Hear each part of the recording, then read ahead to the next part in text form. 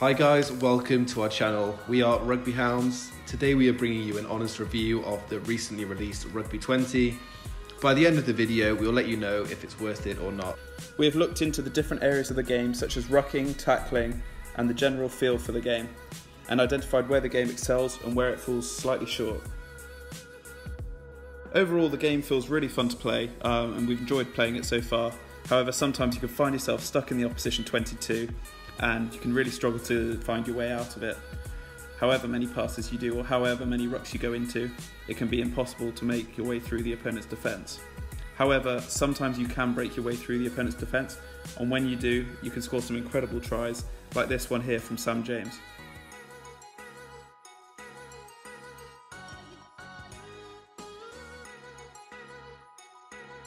We have found that goal kicking is one of the areas where Rugby 20 does let itself down. Um, it uses a very complex uh, system where you have to use your right analog stick and your thumb to direction the ball through the post. Um, at the same time, you need to make sure you've got enough power without going overpowered and missing the shot. However, as you can see in the video, even if you do go overpower, sometimes it goes through, as shown here by Marcus Smith. Rucking on Rugby 20 is a great way to be able to compete for the ball. Although it can take a while to get used to at first, once you learn to use the extract button, the rucks go a lot quicker and they're very easy to execute. Attacking and ball in hand play is great fun on Rugby 20. Uh, you can use your back speeds to really make some good runs.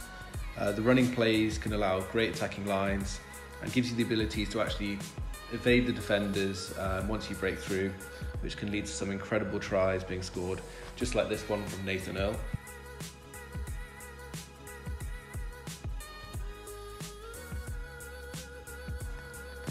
The sidestep is probably one of the best ways you can evade tackles on Rugby 20, but as you can see, it is slightly overpowered. Kicking is a feature that we liked on Rugby 20. However, we struggled to master it early on in the game, as if you apply too much pressure, the kick may go short of touch or over the dead ball line, and allow the opposition a chance for a counter-attacking play as shown here.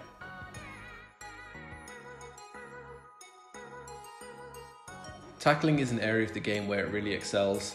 Um, you can make some really big hits and it's really satisfying when you do. Um, and unlike other games, you can't rely on the CPU to make tackles for you. Um, so when players break the line and look sure to score and you make try-saving tackles, it's really satisfying, just like this one. When gaps in the defence appear, you'll have to track down the opposition player and make a crucial tackle.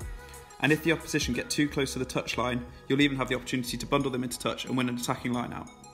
Defending your own try line can be really difficult and uh, it can be quite easy for the opposition to cross past your defence and over for a try.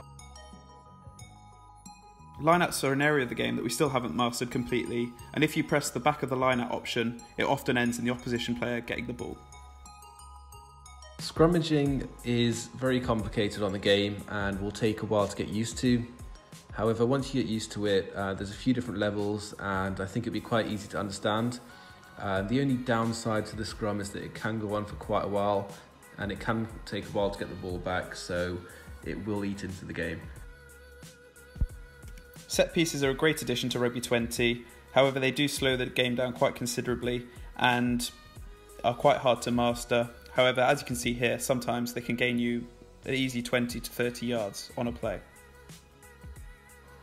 A part of the game we both really like is offloading. Um, it can allow you to get the ball out quickly and also have players in support. However, it is quite realistic and you're not always going to get the yards moving forward.